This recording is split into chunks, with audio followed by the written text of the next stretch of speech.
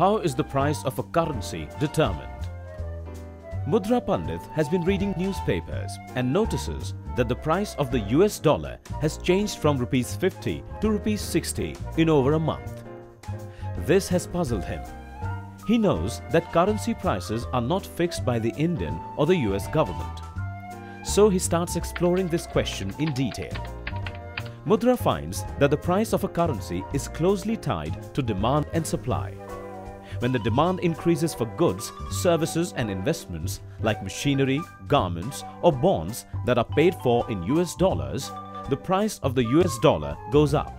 On the other hand, if the American Central Bank chooses to print more dollars and thereby increase the supply, dollar prices tend to cool off.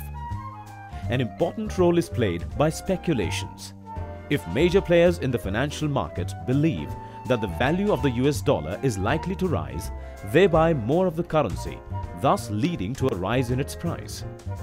Mudra further learns that the economic and political conditions of the issuing country affect the price of the currency. If the country is going through a political conflict or an economic crisis, then the value of its currency may go down. The value of a currency is also linked to the future prospects of its issuing country. A country is said to have good future prospects if it has inflation and unemployment under check and sound economic policies. Good prospects may lead to increased demand and hence higher value. Thus, Mudra learns that the price of a currency is the result of not one but several factors.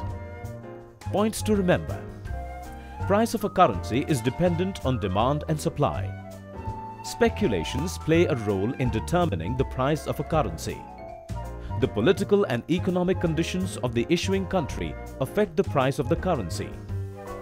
The future prospects of the issuing country affect the price of the currency.